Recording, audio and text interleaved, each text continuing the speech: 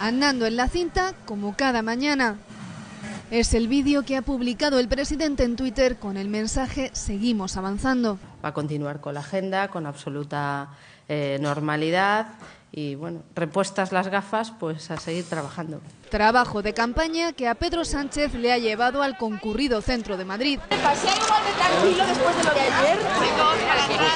El candidato socialista descarta totalmente que la agresión tuviera algo que ver con el tono del cara a cara con Rajoy. Y la línea roja es, por supuesto, el que no puede haber violencia. ¿no? La democracia, la campaña electoral ha ido muy bien durante estas semanas y, y, yo espero que acabe bien. Albert Rivera califica la agresión de intolerable y dice que no hay rédito electoral posible. Creo que ha sido un acto de violencia puntual, es decir, no es que haya habido una violencia en toda la campaña. Sí que he descrito eh, una campaña con juego sucio. Así reaccionaba anoche al ver las imágenes del ataque. Es brutal, es brutal, El líder de Podemos también llamó al presidente según se enteró de lo ocurrido. Estamos viviendo jornadas históricas y creo que ningún incidente va, va a robar a los ciudadanos españoles la, la magia de los momentos históricos que estamos viviendo condena unánime a la que se ha sumado Alberto Garzón. Es una discrepancia con las ideas, pero un respeto absoluto y pulcro a las personas. Pero la campaña sigue. Mariano Rajoy es el presidente de una banda de ladrones, lo voy a decir así. Todos coinciden en que toca recuperar la normalidad.